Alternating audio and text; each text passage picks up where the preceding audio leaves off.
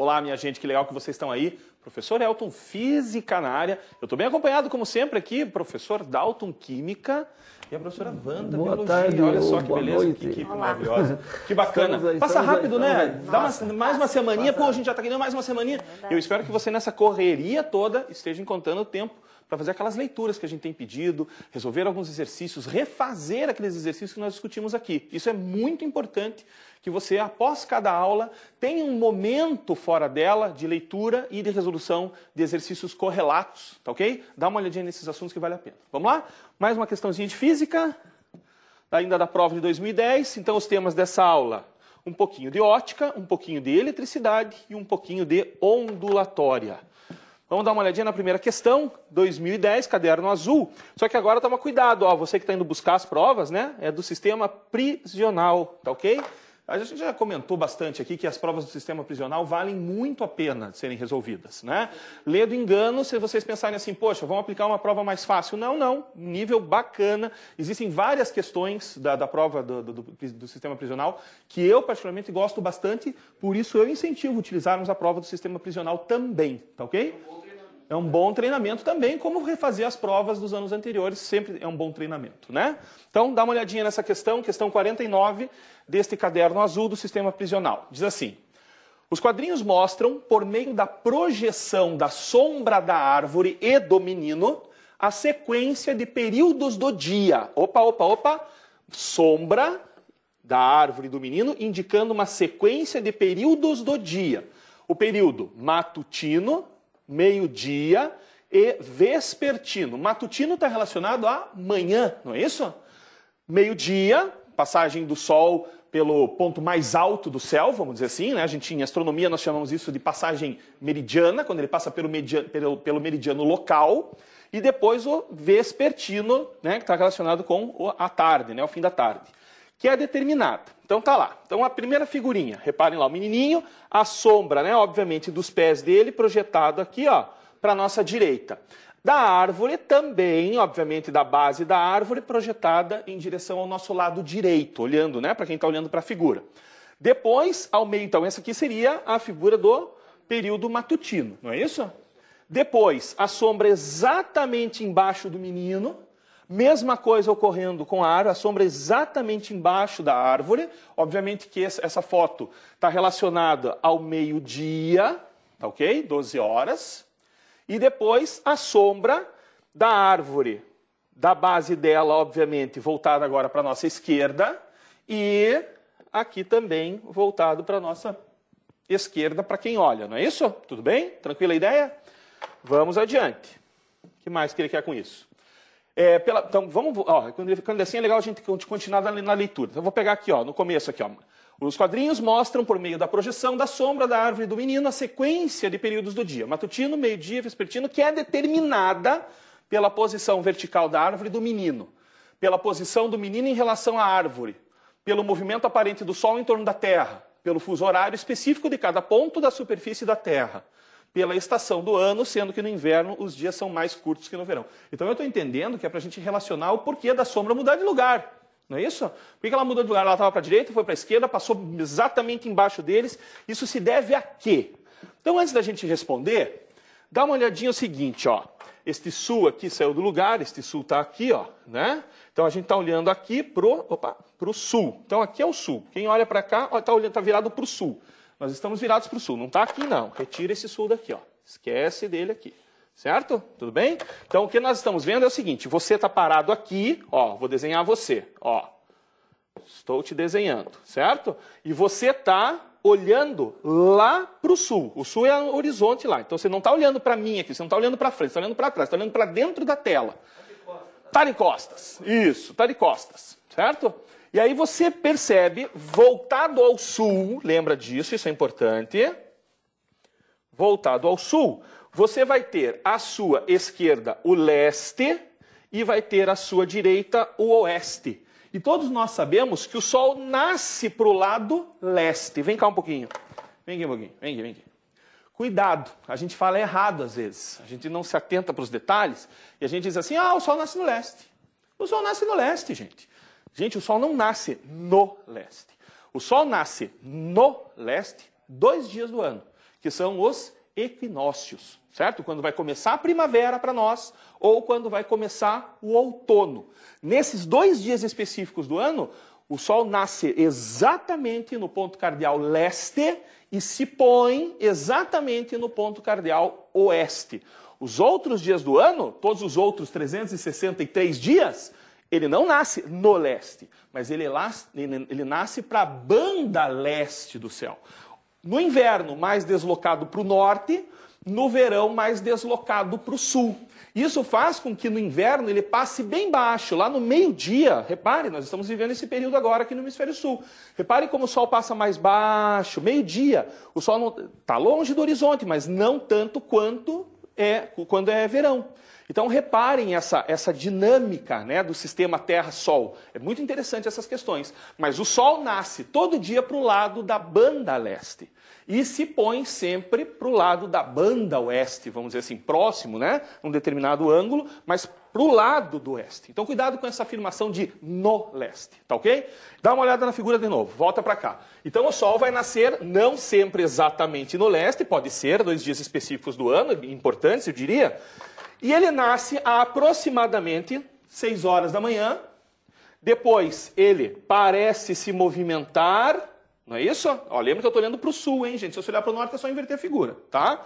Então esse é um movimento aparente do Sol. Parece que ele está girando em torno da Terra, mas não está, a gente sabe disso. Quando ele passa no ponto mais afastado possível para aquele dia do horizonte, né? Quando ele atinge aqui, ó, a máxima altura possível para aquele dia, nós dizemos que ocorre o meio-dia, certo? Às vezes não exatamente o meio-dia do nosso relógio, mas o meio-dia astronômico, tá ok?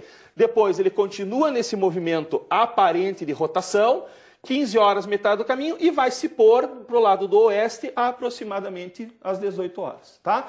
Esses horários não são tão fixos assim, não é sempre exatamente 6 horas, sempre exatamente 18 horas, mas é um horário próximo daqueles que nós encontramos o Sol nascendo esse ponto. Tá ok? Tranquila a ideia? Justamente por causa dessa questão de ele se afastar em direção ao norte ou em direção ao sul, vão mudando os horários de nascimento. Tanto é verdade que no inverno o dia é mais curto. Né? E no inverno, no verão, o dia é mais longo, tá ok? Então, claro que muda um pouquinho os horários de nascimento e de ocaso do Sol, tá ok? Mas, grosso modo, arredondando, fácil para entender, 6 horas o horário do nascimento, 18 horas o horário do, do ocaso, certo? Tranquila ideia? Agora pense na sombra, volta para a figurinha, pensa na sombra. Quando o Sol está lá próximo, né, ainda do, do, do oeste, se você se imaginar aqui de novo, como é que vai estar a sua sombra? Obviamente que vai estar para cá, certo?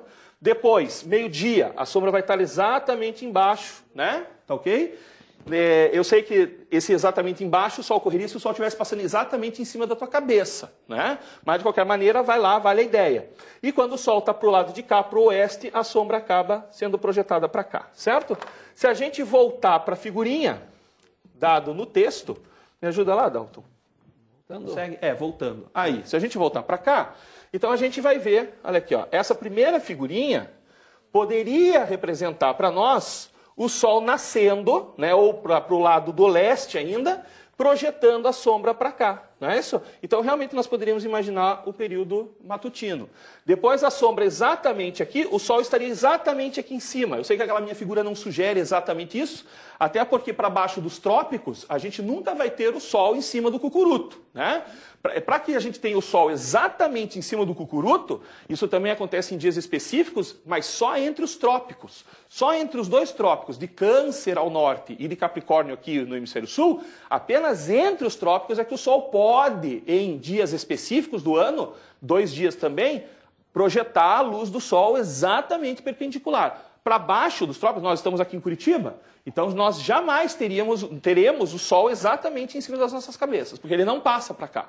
Ele chega no Trópico de Capricórnio, é como se fosse um limite do, do, do movimento dele, é como se fosse um bate e volta. Ele bate ali e volta depois para lá. Tá ok? Entenderam a ideia? Esse princípio de observação também tem a ver com a construção de relógios solares. De relógios, né? e eu imagino, Wanda, que na tua área deve existir uma vegetação característica que goste mais de luz ou precise mais de luz. Com certeza. Onde, é, menos, né? Folhas são adaptadas, né? Então a planta é toda adaptada para determinada. Para o grau de incidência luminosa da região. Exatamente por isso. Tá ok? E depois aqui, então, finalizando o dia, o sol já querendo se pôr para o lado de cá já a sombra projetada para o outro lado é relacionada ao período vespertino.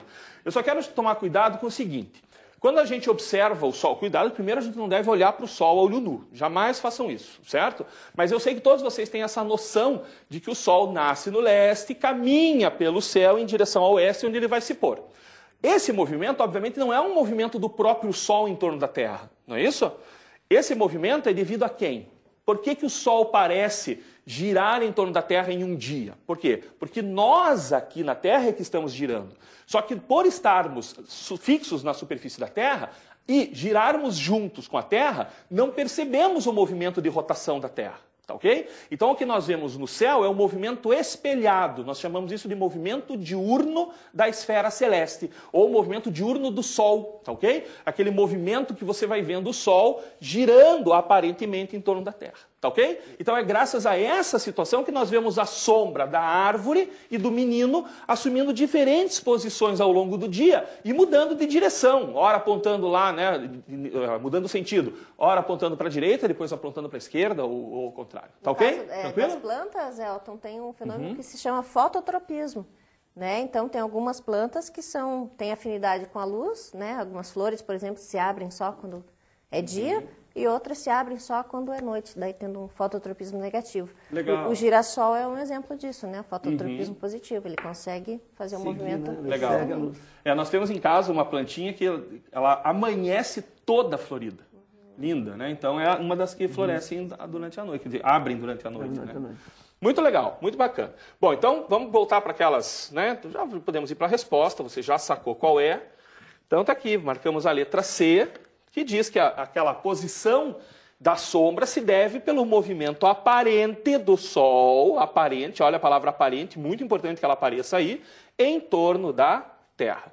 Isso me lembra aquelas questões de referencial, né, do Ptolomeu dizer assim, a Terra é o centro do universo, todo mundo orbita a Terra. Porque quando, se, quando a gente olha para o céu, parece realmente que tudo está orbitando Sim. a Terra. Mas vamos lembrar que, na verdade, é a gente que está girando, não é isso? É uma questão de referencial. referencial. Né? Essas questões de referencial para análise de movimentos não são tão difíceis de fazer se você se imaginar no referencial. Sempre se imagine, se ele falar assim, olha, aquele ônibus está em movimento em relação ao poste, opa, em relação ao poste, o poste é o referencial. Então se imagina no lugar do poste, eu sou um poste agora, o que, que eu estou vendo o ônibus fazer? Se o ônibus muda a posição em relação a mim, ele está em movimento. Se ele não muda a posição, ele não está em movimento. É uma maneira de, de analisarmos o movimento ou o repouso. Tá ok a ideia? Então o segredo é, sempre se imagine no referencial que você está que está sendo usado para analisar determinado fenômeno e você não vai errar. Tranquilo? Vamos adiante? Mais uma?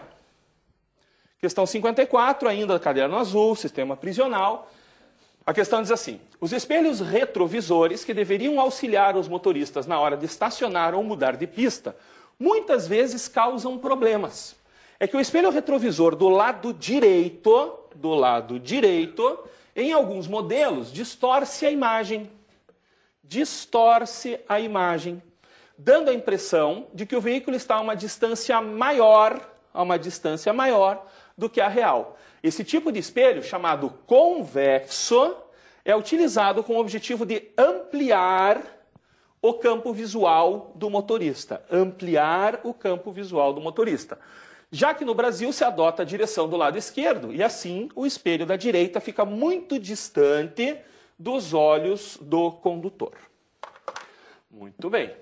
Sabe-se que em um espelho convexo, a imagem formada está mais próxima do espelho do que este está do objeto. Sim, verdade. O que parece entrar em conflito com a informação apresentada na reportagem. Vamos parar um pouquinho aqui. É, lembra de espelho plano? A distância do espelho para a imagem que ele conjuga é igual à distância do objeto até o espelho. Existe uma questão de simetria. Então, toda vez que você para na frente de um espelho plano, para retocar a maquilagem, as menininhas, né? Os meninos para espremer o cravo do nariz, não é isso?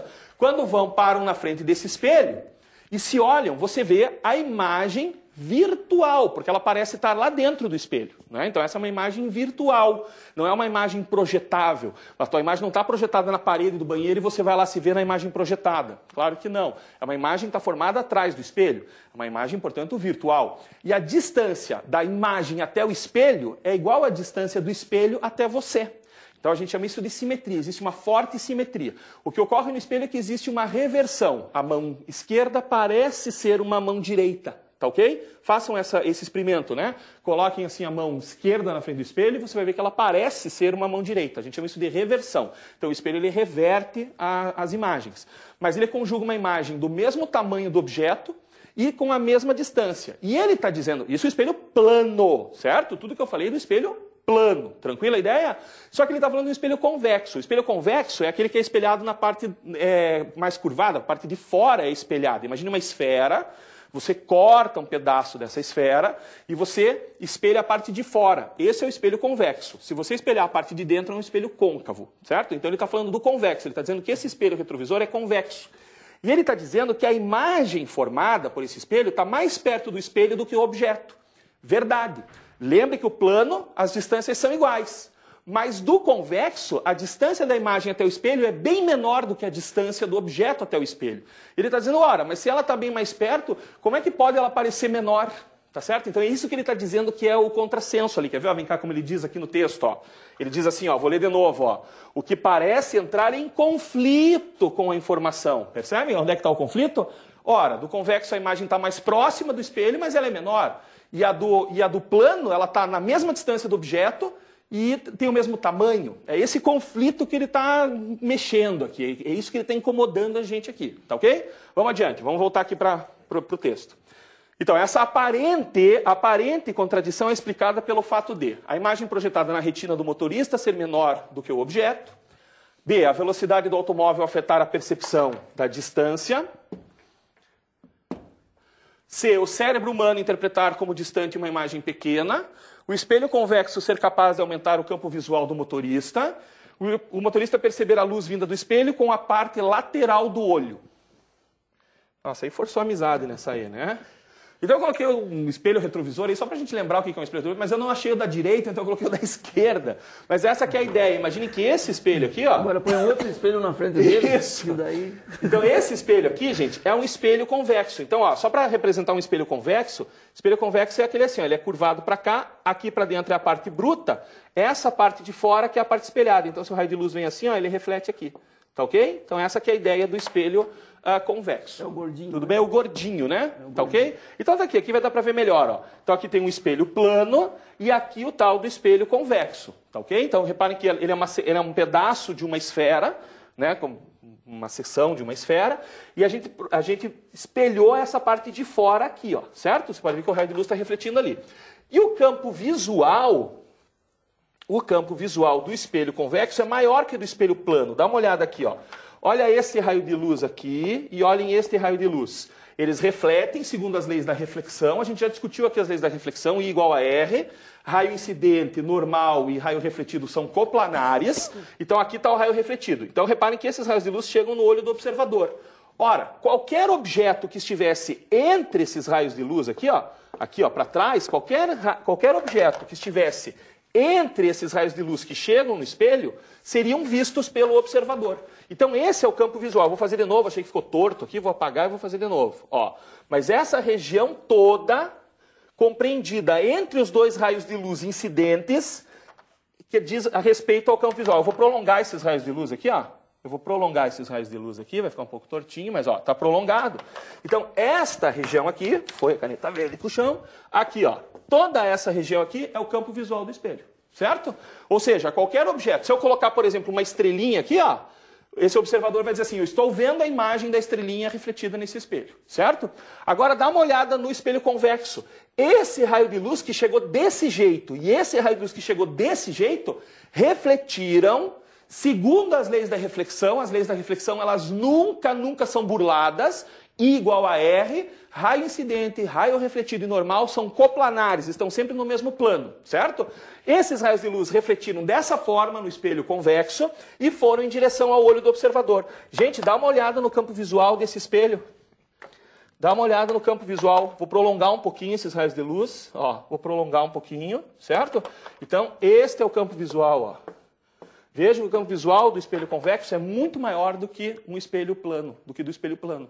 Então é por isso que os fabricantes desses retrovisores, que são colocados no, lado direito, é, optam em colocar um espelho convexo, para que se ganhe campo visual. Se o motoqueiro está aqui mais perto ou está mais longe ali, afastado um pouquinho, ele você consegue vê-lo. Só que qual o preço que a gente paga para isso? A gente está vendo ele. Se ele vem passando pela minha direita, prática que deveria ser evitada, mas poucos pensam nisso, né? Trânsito nesse país é um, um problema seríssimo, né? As pessoas parecem que quando dirigem se transformam, parece que não pensam nas regras e na segurança, mas enfim. Você consegue ver. Só que qual o preço que você paga? Um espelho convexo, voltando para cá, um espelho convexo sempre, sempre e sempre conjuga apenas um tipo de imagem. Eu costumo brincar dizer que é, dizendo que ele é o espelho pobre, certo? A imagem que ele conjuga é sempre virtual. Sempre. O que é uma imagem virtual? É aquela imagem que é formada atrás do espelho, certo? Você que estudou isso e lembra? Formada pelo prolongamento dos raios de luz que refletiram, não é isso? Então é uma imagem virtual. Não é uma imagem projetável, aquela que você pode projetar numa tela, como se fosse no cinema, por exemplo. Tá ok? Então, toda imagem é virtual, todo espelho convexo. Toda imagem que ele conjuga é virtual. Toda imagem virtual conjugada por um único espelho é direita. Ou seja, você não vê ela de ponta cabeça. Então você não vê, quando você olha para o espelho retrovisor, você vê o motoqueiro voltado para cima. Você vê o carro que está te ultrapassando por aqui voltado para cima. Ele não aparece de ponta cabeça. Então isso que quer dizer direita. Direito é o contrário de invertido. Invertido é ficar de ponta cabeça, certo? Então se ele é direito, ele está para cima bonitinho. Tá ok? Como deve ser. Continua. Virtual direita e ela sempre vai parecer menor. Ela vai parecer menor do que o objeto.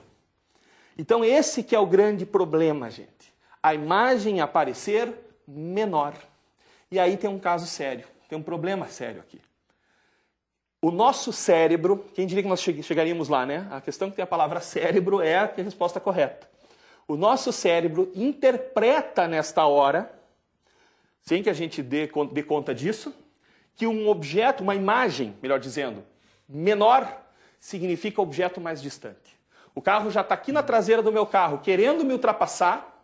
Eu vejo ele um pouco menor, porque é o tipo de imagem que esse espelho conjuga, e eu tenho a sensação de que ele está mais distante. Imagina que eu entro achando que ele está mais longe e no fim ele está bem aqui perto, isso pode causar um acidente ou pelo menos freadas bruscas que a gente não quer, tá certo? Então esse é o grande problema. Né? Então a resposta correta, pasmem, e aqui está antes, antes da gente chegar na resposta correta, muitas vezes o nosso cérebro é enganado. E olha, exemplos de momentos em que eles são enganados. Ó. Olha lá. Vocês estão vendo alguma coisa acontecer? O Dalton já ficou tonto, quase caiu da cadeira aqui. O que, que eu tomei? Hein? Que o Dalton quase caiu. Você não segura o Dalton aqui? Brincadeira. Se, ele, ó, se você quase caiu para esse, você vai ver o último. Olha lá, ó. Juro para vocês que ninguém desenhou o triângulo branco. Alguém desenhou o triângulo branco nessa figura? Não, mas todo mundo está vendo o triângulo branco. O que nós desenhamos, que nem fala meu filho, desenhamos aqui os come-comes, né? E desenhamos simplesmente essas estruturas aqui, esses, né, esses cantinhos, mas ninguém desenhou o triângulo branco. E o triângulo branco aparece, todo mundo está vendo esse triângulo branco, vou apagar aqui para chamar a atenção, mas ninguém desenhou um triângulo branco. Certo? Então o nosso cérebro teima em enxergar um triângulo branco aí. Beleza? Mais um. Essa é clássica, né? Essa é bem clássica, né? Eu só consigo ver a menina bonita, eu não tenho olhos para meninas feias, então eu não consigo ver. Não adianta, já tentei várias vezes, estou brincando. Todo mundo manja essa, né? A mocinha bonitinha, ó, ela está olhando para trás, aqui está a nuca dela, aqui está o narizinho de perfil, né? Olha aqui o chapéu dela para cá, e, o cabelo dela está para cá, ó, certo? Essa é a moça bonita. Mas tem a moça mais feinha, não é isso? Alguns até dizem que é uma bruxa. Ó, aqui está o nariz dela, aqui está o orifício, a narina, aqui está a boca, aqui está o queixo, o cabelo aqui passando pela face, aqui está o olho dela olhando para cá. Ó. Tudo bem? Todo mundo enxergou? Muito bem, mais uma vez o nosso cérebro in- eh, interpretando Existe- a mesma situação de formas diferenciadas. Existe uma estatística de quem vê mais um do que outro? Ah, não sei se já fizeram isso. Vai- Eu nunca- boa é, questão, boa que eu questão. toquei, Não, também que não tem sei. um levantamento. Aquela primeira impressão, né? A primeira Pum, impressão. diga. Isso veio primeiro. É, não, não, não, nunca vi nada a respeito. E essa última que eu particularmente acho genial. Desliga, desliga, desliga. Eu acho genial esse troço. Né? é Parece que é uma. A gente tá olhando um tubo flexível por dentro, ele tá. Né? Tá vibrando. Tá? ligado? Mas nada vibra, né? Vamos, é, é, só, é só um desenho. Então o nosso cérebro realmente é enganado várias e várias. Eu não coloquei nenhuma, eu sou fã de carteirinha do Escher. Quando veio aqui para Curitiba no, no- no- no Museu Museu. do, do Niemeyer, no olho, né? É, ah, eu corri para ver, comprei o livro e tudo mais. Eu acho aquilo genial, né, as figuras do Escher. Procure na internet, você vai achar várias figuras do Escher que brincam com essa questão de percepção, tá ok? Marcamos a letra C, por incrível que pareça, o cérebro humano interpretar como distante uma imagem pequena. Vocês sabem que isso é bem grave, né? Atropelamentos por- de crianças em BRs É problemático. é né? problema, porque o motorista vem vindo, ele vê uma criança sozinha, não deveria estar sozinha, atravessando a rua. O motorista interpreta como sendo um adulto. E se é um adulto com aquele tamanho, é porque ele está mais distante. E muitas vezes não dá tempo de- de- de- da frenagem correta, porque calculou a distância mal, por causa dessa situação, e acaba batendo na criança, infelizmente. Né? Então, seja que é uma situação grave, certo? Muito bem, mais uma minha. Atualmente existem, questão 57, ainda sistema prisional, caderno azul, diz assim: atualmente existem inúmeras opções de celulares com telas sensíveis ao toque, touchscreen. Pena que o Gilmar já foi embora, ele ia gostar de falar essa foi. palavra, né? Certo? Touchscreen.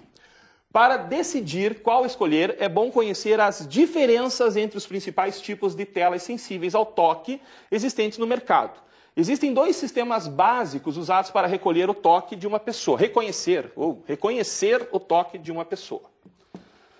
O primeiro sistema consiste de um painel de vidro normal, recoberto. O que é um vidro normal? Um vidro comum, né? Recoberto por duas camadas afastadas por espaçadores. Uma camada resistente a riscos é colocada por cima de todo o conjunto. Uma corrente elétrica, opa, uma corrente elétrica passa através das duas camadas enquanto a tela está operacional. Quando um usuário toca a tela, as duas camadas fazem contato exatamente naquele ponto. A mudança no campo elétrico é percebida e as coordenadas do ponto de contato são calculadas pelo computador.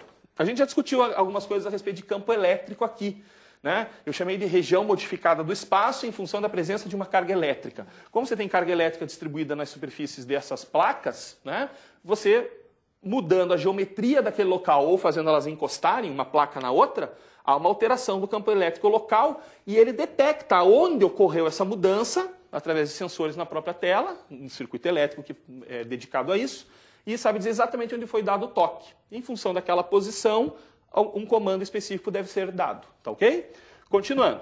No segundo sistema, uma camada que armazena a carga elétrica é colocada no painel de vidro do monitor.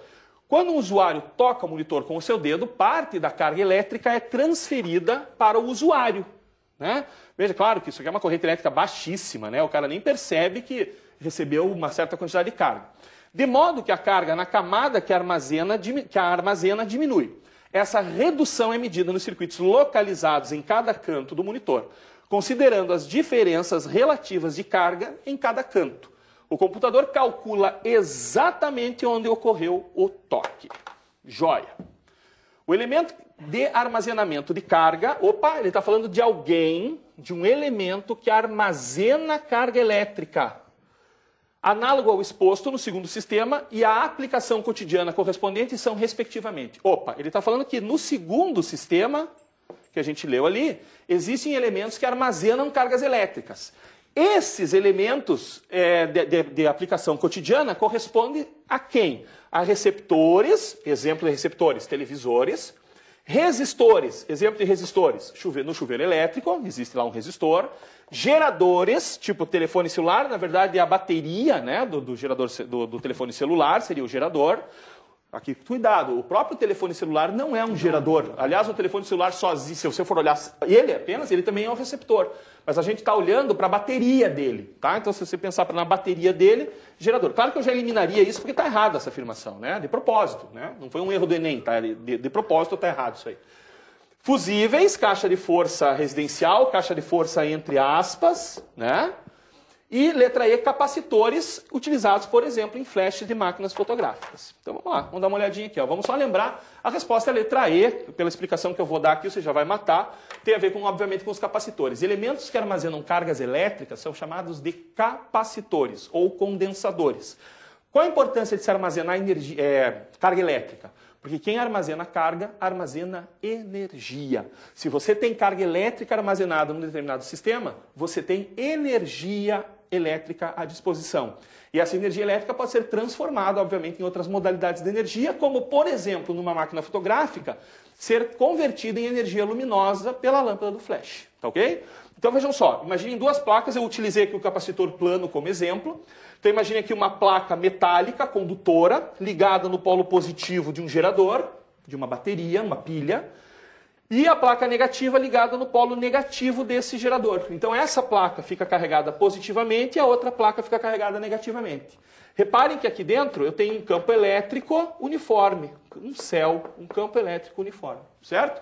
Eu posso calcular a capacitância desse capacitor. A capacitância ela vai me dizer qual é a quantidade de carga que esse aparelho armazena para cada volt aplicado sobre ele, tá certo? A capacitância ela vai me dizer qual é a quantidade de carga que eu consigo armazenar nesse elemento para cada unidade de tensão aplicada sobre ele. Tá ok? Então, aí veja que essa equação que eu acabei de me referir é essa aqui. Ó. A quantidade de carga que ele armazena vai ser a capacitância dele, ou seja, a capacidade dele armazenar carga, vezes o U. Lembra do U? O U é a diferença de potencial dada em volt. Né? Carga dada em Coulomb no sistema internacional. E a unidade da capacitância é o Farad. Farad, né? F maiúsculo, tá ok? A unidade de capacitância, o Farad. Se eu quiser calcular a capacitância de um capacitor plano, gente, é só, eu estou falando do capacitor plano, certo? Epsilon zero é a permissividade elétrica com que dificuldade ou com que facilidade um campo elétrico se estabelece entre aquelas placas.